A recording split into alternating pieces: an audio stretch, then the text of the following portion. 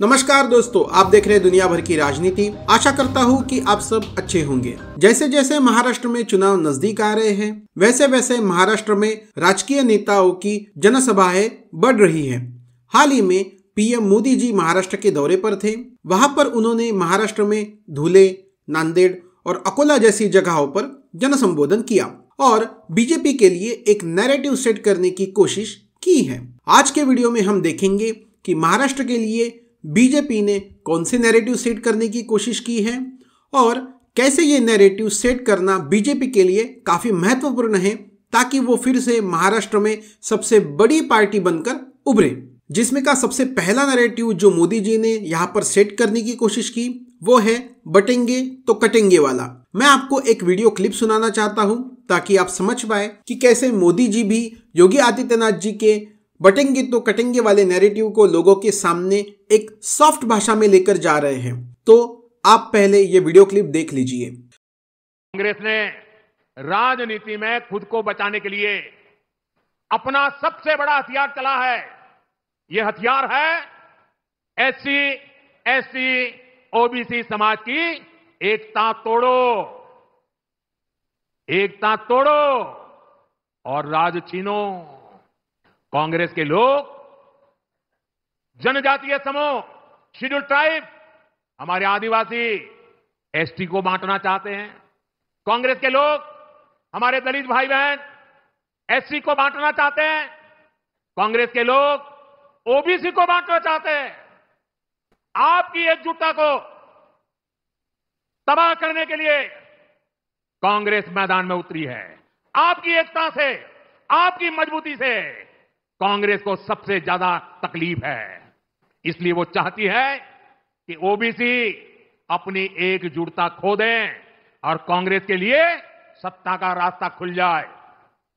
मैं आपसे पूछता हूँ, जब ओबीसी अलग अलग जातियों में बटेंगे तो कमज़ोर होंगे कि नहीं होंगे? जरा पूरी ताकत से बताइए, कमज़ोर होंगे कि नहीं होंगे? आपकी ताकत घटेगी कि नहीं घटेगी? और इसलिए आपको याद रखना है, मेरा तो एक ही मंत्र है, हम एक है तो सेफ़ है, हम एक है तो हम एक है तो सेफ़ है। जैसे आपने वीडियो में देखा होगा, मोदी जी ने साफ़ तौर पर ओबीसी और एससी की विभिन्न जातियों को एक होने के लिए कहा है और ये बताया है कि किस तरह कांग्रेस ओबीसी और शेड्यूल कास्ट की विभिन्न जातियों को आपस में बांटकर और आपस में लड़वाकर चुनाव जीतना चाहती हैं। अब मोदी जी ने ओबीसी और शेड्यूल कास्ट की अलग अलग जातियों को बिना बटे वोट करने के लिए इसलिए कहा है या फिर इस चीज़ का महत्व इसलिए भी है दोस्तों कि साफ़ है महाराष्ट्र में बीजेपी के हिंदुत्व को मानने वाला एक बड़ा वर्ग है, जिसमें ज़्यादातर अपर कास्ट वोटर्स और कुछ प्रमुख ओबीसी जातियाँ भी आती है। लेकिन लोकसभा में जो कांग्रेस का संविधान बदलने का एक फेक नैरेटिव सेट हो गया था या फिर सेट किया गया था, जिसकी वजह से काफ़ी ओबीसी वोटर और शेड्यूल कास्ट वोटर बीजेपी से नाराज़ हो गए थे, जिसकी वजह से बीजेपी को इसका काफ़ी बड़ा नुकसान उठाना पड़ा था। और इसके साथ साथ ही मनोज जरांगे पाटिल जी ने जो बीजेपी के खिलाफ इस चुनाव में उनको लक्ष्य किया था, या फिर जिस तरीके से मनोज जरांगे पाटिल जी ने बीजेपी के खिलाफ एक तरीके का अभियान चलाया था, जिसकी वजह से जो मराठा वोट बैंक हिंदुत्व के नाम पर बीजेपी के साथ 2014 और 19 में जुड़ा था, उसमें भी थोड़ा डेंट लग गया था। तो इसलिए भी मोदी जी ने इस बार ओबीसी वोट बैंक और शेड्यूल कास्ट वोट बैंक को एक साथ, एक गठा, एक संघ होकर बीजेपी को वोट देने के लिए अपील की है। और ये बीजेपी के लिए एक काफ़ी महत्वपूर्ण पॉइंट भी बन चुका है। और साथ ही साथ, इस एक गठा अपील को हम कांग्रेस के जातिगत जनगणना के जो फेक नैरेटिव है, उसके खिलाफ भी अपने पाले में करने के लिए भाजपा की एक बड़ी चुनौती के तौर पर हम देख सकते हैं। इसीलिए मोदी जी ने अपने सभा में ओबीसी और शेड्यूल कास्ट की सभी जातियों को एक साथ और सभी मतदाताओं को एक साथ बिना जाति में बटे हुए बीजेपी के लिए वोट करने की अपील की है और कहा है, एक है तो सेफ़ है। वीडियो में आगे बढ़ने से पहले दोस्तों, अगर आप हमारे वीडियो को पसंद करते हैं तो मैं आपसे अनुरोध करूँगा कि कृपया चैनल को सब्सक्राइब करें, वीडियो को लाइक करें और शेयर ज़रूर करें और अपने सुझाव कमेंट बॉक्स में ज़रूर लिखिए।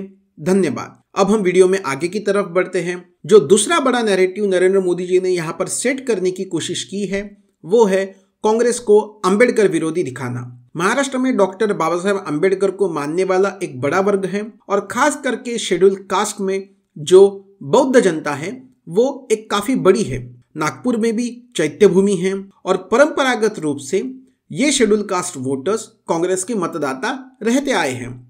लेकिन 2014 और 2019 में इस वोट बैंक में बीजेपी ने काफ़ी सेंधमारी की थी और इस सेंधमारी में वो सफल भी हुए थे, जिसका फ़ायदा बीजेपी को मिला था। लेकिन 2024 में परंपरागत रूप से संविधान हटाने वाला कांग्रेस का फेक नैरेटिव चल गया था, जिसकी वजह से यह वोटर फिर से कांग्रेस की तरफ़ झुक गया था और इसी वोटर को फिर से अपनी तरफ़ करने के लिए बीजेपी काफ़ी मशक्कत कर रही है। और इसीलिए नरेंद्र मोदी जी ने इस बार चुनाव में कांग्रेस और गांधी परिवार के खिलाफ डॉक्टर बाबा साहेब आम्बेडकर जी के विचार किस तरह थे या फिर कांग्रेस और गांधी परिवार कैसे डॉक्टर बाबा साहेब आम्बेडकर जी के खिलाफ थे, ये दिखाने की उन्होंने इस बार कोशिश की है। और कैसे कांग्रेस और गांधी परिवार ने हर बार डॉक्टर बाबा साहेब आम्बेडकर जी की उपेक्षा की, इसके बारे में भी उन्होंने अपने चुनावी भाषणों में बोला है। मुझे लगता है आपको उसको एक बार सुन लेना चाहिए और ये भी काफ़ी महत्वपूर्ण है।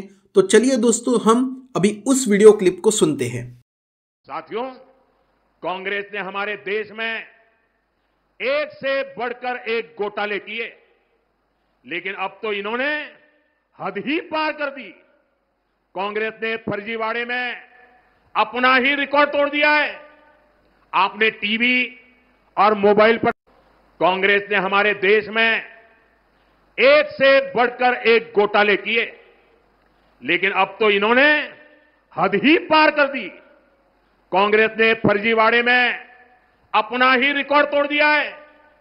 आपने टीवी और मोबाइल पर देखा होगा, कांग्रेस के लोग संविधान के नाम पर अपनी एक अलग लाल किताब बंटवा रहे हैं। कांग्रेस की लाल किताब पर ऊपर तो लिखा है भारत का संविधान, लेकिन लोगों ने जब भीतर से खोला तो पता चला कि लाल किताब कोरी है। सारे पन्ने कोरे। उसमें बाबा साहब के संविधान का एक शब्द भी नहीं लिखा है। ये उनकी बाबा साहब के प्रति जो नफरत है ना, उसका ये नमूना है। और देख पूरा देश ये देख करके हैरान है कि चुनाव में इतना झूठा करने की इनकी हिम्मत। संविधान के नाम पर लाल किताब छपवाना, उसमें से संविधान के शब्दों को हटाना, ये संविधान को खत्म करने की कांग्रेस की पुरानी सोच का नमूना है।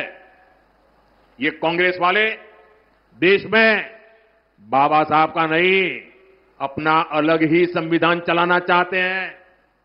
तो जैसा कि दोस्तों आपने सुना होगा कि इस वीडियो क्लिप में नरेंद्र मोदी जी एक नैरेटिव सेट करना चाहते हैं, जो नैरेटिव कांग्रेस के नैरेटिव के बिल्कुल खिलाफ है, या फिर राहुल गांधी जो नैरेटिव बनाना चाहते हैं, जिसमें वो कास्ट सेंसस या फिर संविधान बचाने की बात करते हैं, उस नैरेटिव को नरेंद्र मोदी जी काउंटर करने के लिए ये नैरेटिव सामने रखना चाहते हैं कि किस तरह कांग्रेस और गांधी परिवार ने डॉक्टर बाबा साहेब आम्बेडकर जी की उपेक्षा की? और वैसे भी ये काफ़ी महत्वपूर्ण है, क्योंकि हाल ही में महाराष्ट्र की राजनीति में जो शेड्यूल कास्ट वोटर है, उनकी एज सच कोई बड़ी महत्वाकांक्षा नहीं है। सिवाय इसके कि उनको सरकार में अच्छा प्रतिनिधित्व मिले। तो इसीलिए भी ये काफ़ी महत्वपूर्ण है कि इन मतदाताओं को जिनकी कोई बड़ी महत्वाकांक्षा नहीं है, उन मतदाताओं को अपने पाले में कौन कितने आसानी से कर लेता है? और इसीलिए बीजेपी और कांग्रेस, ये दोनों ही डॉक्टर बाबा साहेब अंबेडकर जी और संविधान, इन दोनों विषयों को बुनाने की कोशिश कर रहे हैं। और ये देखना काफ़ी दिलचस्प होने वाला है कि किस तरह इनमें से कोई भी इसमें सफल होने वाला है।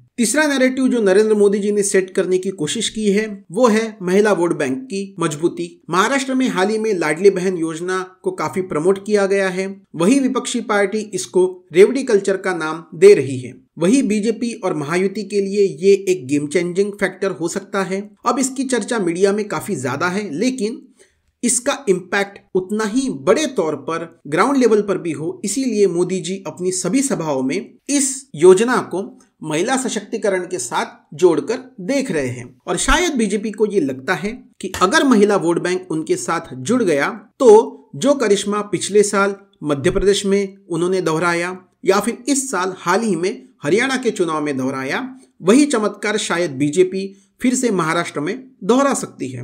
और इसीलिए बीजेपी और मोदी जी इस नैरेटिव को सेट करना चाहते हैं कि किस तरह बीजेपी महिला सशक्तिकरण के साथ खड़ी है वो महिलाओं के साथ जुड़ी है और महिलाओं के हितों की रक्षा करने के लिए वो हमेशा आगे आ रही है। इतना ही नहीं तो इस योजना को महिलाओं के साथ साथ गरीब उत्थान की योजना के तौर पर भी देखा जा रहा है और इसीलिए इसी योजना से बीजेपी गरीबों के साथ भी जुड़ने की एक अच्छी कोशिश कर रही है। तो दोस्तों, मुझे ऐसा लगता है कि मोदी जी ने बीजेपी के लिए एक अच्छा बैटल ग्राउंड तैयार करके दिया है और ये देखना काफ़ी महत्वपूर्ण है कि किस तरह इस नैरेटिव को बीजेपी अब मोमेंटम देगी ताकि वो फिर से एक बार महाराष्ट्र में एक बड़ी पार्टी बनकर उभरे। तो आज के लिए इतना ही दोस्तों। जय हिंद, जय भारत, धन्यवाद।